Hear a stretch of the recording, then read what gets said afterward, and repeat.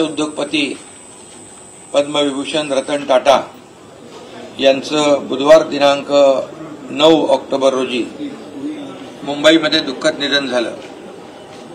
ते शहाऐंशी वर्षाचे होते. रतन टाटा यांच्या निधनाबद्दल राज्य मंत्रिमंडळ तीव्र शोक व्यक्त करीत आहे. खरं म्हणजे मनाला वेदना आणि दुःख देणारं असं कालची घटना आहे. खऱ्या अर्थाने एक आपण म्हणतो त्यांच्या नावात रतन होतं. आणि अनमोल आणि दुर्मिळ रत्न हरपलंय.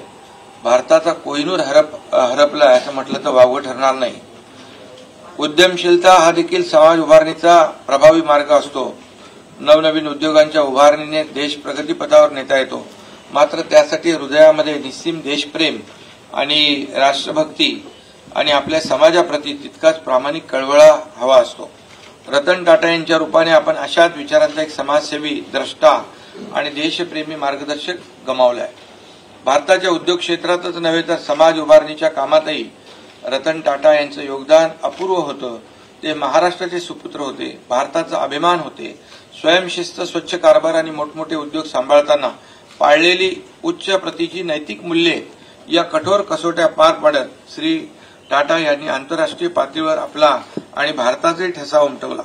बुधवारी रात्री त्यांचे देहावसान झाले त्यांच्या रूपाने देशाचा एक प्रमुख आधारस्तंभ कोसळला आहे. खरं म्हणजे एक जमिनीवरचा माणूस काय असतो? जमिनीशी आणि सर्वसामान्यांशी नाळ जशी जुळते किती माणूस मोठ्या होद्यावर गेला तरी सुद्धा किती त्यांची जी काही साधी राहणी आणि उच्च विचारसरणी हे आपण सगळ्यांनी पाहिलं. आम्ही मुख्यमंत्री मी झालो तेव्हा आम्ही गेलो होतो त्यांच्याकडे. एवढा मोठा माणूस आणि त्याला बोलणं पाहिल्यानंतर खरं म्हणजे एक दुर्मिळ व्यक्तिमत्व अशा प्रकारचं त्यांचं मी या ठिकाणी भावना व्यक्त केलेली आहे. खरं म्हणजे अशी माणसं क्वचित जन्माला येतात आणि म्हणून आपलं फार मोठं राज्याचं नाही देशाचं नुकसान झालं. जगभरामध्ये त्यांचं सगळं नेटवर्क होतं. आणि म्हणून अठ्ठावीस डिसेंबर एकोणीसशे सदोतीस रोजी मुंबईत जन्मलेले रतन टाटा हे टाटा समूहाचे संस्थापक जमशेदजी टाटा यांचे पंतू होते. टाटा समूहाचे अध्यक्ष म्हणून आणि नंतर अंतरिम अध्यक्ष म्हणून या समूहाचा कारभार अनेक वर्ष पाहिला. देशातल्या सर्वात जुन्या अशा टाटा समूहाच्या चॅरिटेबल ट्रस्टचे प्रमुख म्हणून अतिशय परोपकारी वृत्तीने त्यांनी काम पाहिलं. मोठ्या आकाराचे उद्योग व्यवसाय सांभाळताना श्री टाटा यांनी नैतिक मूल्यांची जी जपणूक केली ती उद्योजकांसाठी आणि उद्योग विश्वातील भावी पिढीसाठीही दीपस्तंभासारखी मार्गदर्शक ठरेल. रतन टाटा हे असंख्यांचे मित्र होते मार्गदर्शक होते आणि तत्वनिष्ठ कर्मयोगीही होते. एक खूप मोठा वारसा ते आपल्यासाठी मागे सोडून गेलेत. स्वातंत्र्यानंतरच्या काळात देशाची पुन्हा उभारणी करण्याच्या कामात टाटा समूहाचा वाटा शिवाचा होता. या समूहाच्या माध्यमातून रतन टाटा यांनी भारताचा झेंडा जागतिक पातळीवर दिमाखाने फडकत ठेवला. मोटारीपासून मिठापर्यंत आणि कॉम्प्युटरपासून कॉफी चहापर्यंत असंख्य उत्पादनांशी टाटा हे नाव अभिमानाने जोडलं जातं. इतकेच नाही तर शिक्षण आरोग्य आणि समाजसेवेच्या क्षेत्रातही रतन टाटा यांनी आपलं अनन्यसाधारण योगदान दिलंय. मुंबईवर झालेल्या सव्वीस अकराच्या हल्ल्यानंतर त्यांनी दाखवलेला खंबीरपणा सगळ्यांच्याच कायम स्मरणात राहणार आहे.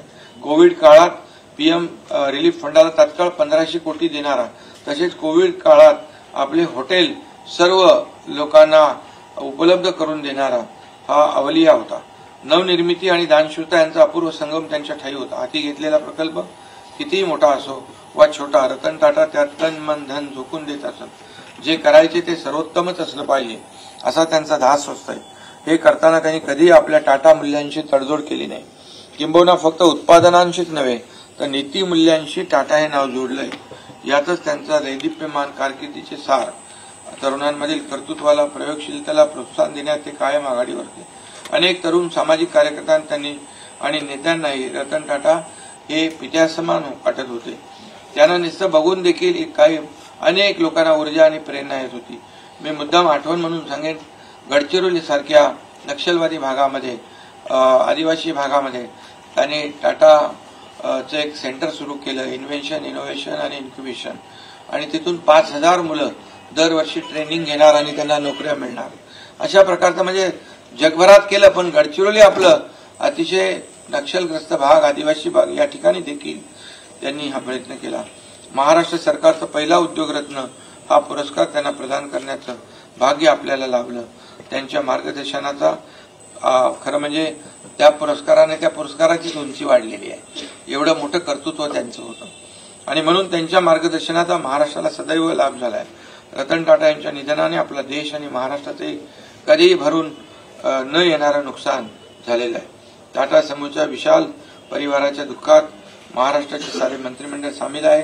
त्यांच्या आत्म्याला सद्गती लावून ही प्रार्थना देशाच्या या महान सुपुत्राला भारत महाराष्ट्रातील तमाम नागरिकांच्या वतीने राज्य मंत्रिमंडळ भावपूर्ण श्रद्धांजली अर्पण करते. आणि आज आपण शासकीय दुखवटा जाहीर केलेला आहे. या सर्व भावना त्यांच्या शोकाकुल कुटुंबाला कळविण्यात येत आहेत मंत्रिमंडळाच्या वतीने त्यांना भारतरत्न देण्यात यावा म्हणून आपण केंद्र सरकारला आपण